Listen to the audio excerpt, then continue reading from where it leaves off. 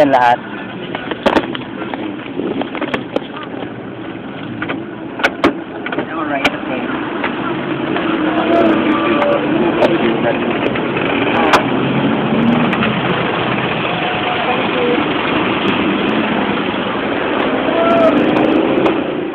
Kaya nga naka, ano, nakaka-interest mga topic ng ganyan. Alam mo pare, ah, ah, bihira ako makakita ng driver na Christian. Ah, ganun po. Nung the other day, galing ako sa isang, galing ako sa Avenue, Quezon Avenue. Apo. Papunta ako ng Cubao, siningil ako ng 1,000. 1,000 ang singil ng driver ng taxi sa akin. Hindi niya alam na naplakahan ko siya. Nakunan ko siya ng plaka. Eh, Hindi ko man i-report, kaya lang At least nagkaroon na ng gan. Mga ganitong oras. Sabi niya daw kasi yung ang gastos ng krudo sa taxi, isang libo, Quezon Avenue papuntang Cubao. Bumaba ako. Sabi nyo, to Cubao, 1,000. Oo, bumaba ako. That's too much. Bumaba ako.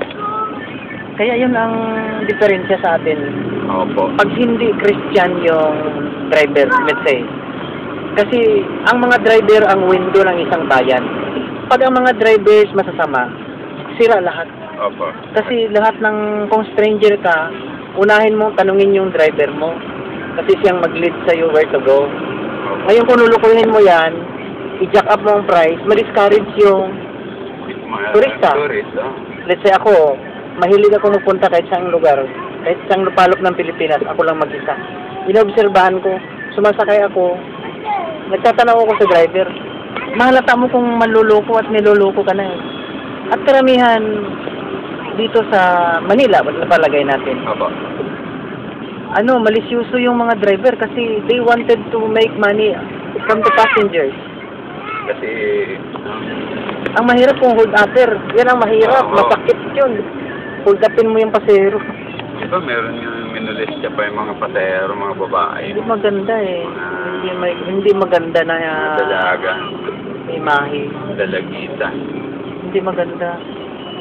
Meron po tayong mga kung kasi ah, mga tao na wala nang pakundangan kasi nasusulat na kasi Na walang talagang makasalanan.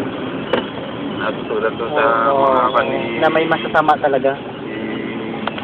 kana charity sa second Timothy 3 niya na 315 wala Oo. sabi niya eh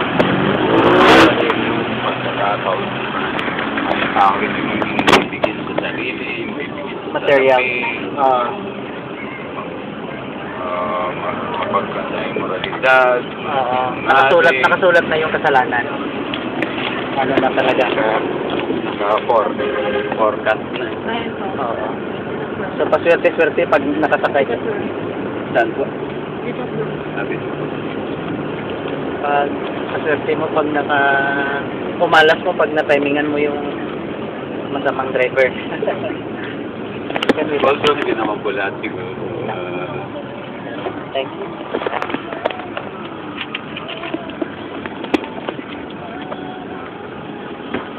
Kaya, um, as a visitor dito, kasi hindi man ako taga dito, Opo.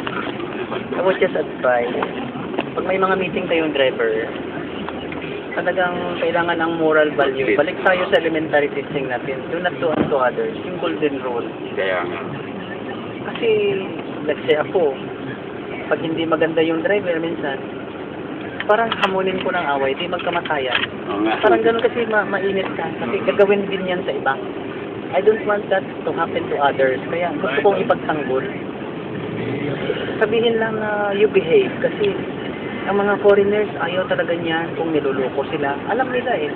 Mabaho yung... Saan po? Kasasakay lang po.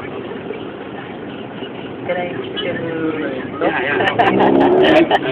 Pasensya na, medyo nagkakaroon ng corruption. no problem. Unahin mo, unahin mo muna yung hanap buhay mo. Curious ako. yung sa akin lang naman, yung moral values lang. Yun ang importante. Yung huwag mong gawin sa iba.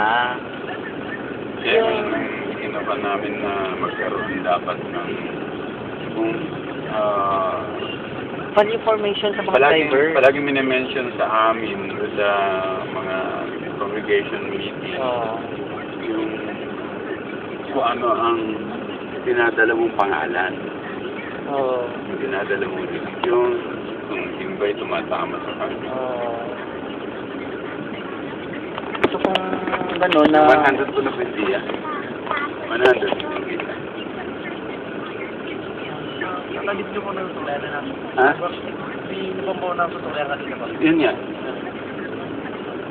Yung sinabi ko kanina, yung mga driver, parang sila ang window ng isang lugar. Di kung magsabi yung makibabasa mo man sa internet, ah, Filipinos, ganyan lang, minamasol ka lang nila dyan, niluloko ka nila dyan, mga taxi, hindi honest. Masama yun. Masama Kasi yun. ang kwan nga eh, una-una, mga naging driver, hindi naman sa pagkakuan sa mga kapwa ko driver. Ah, Pagkaraniwan sa kanila hindi nakaapak ng kahit palagay natin hindi sila. Pero ang kwan sa kanila, ang implant kasi nila, kumita, they don't care. Wala na. Wala na. Eh, hayaan na lang masaktan yung iba.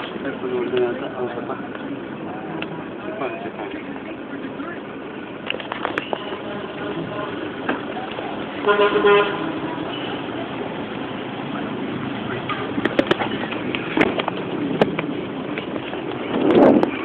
lagi ko problema natin ng ng ng natin. Medyo talagang binanggit niya yung morality talagang bumababa na bumababa.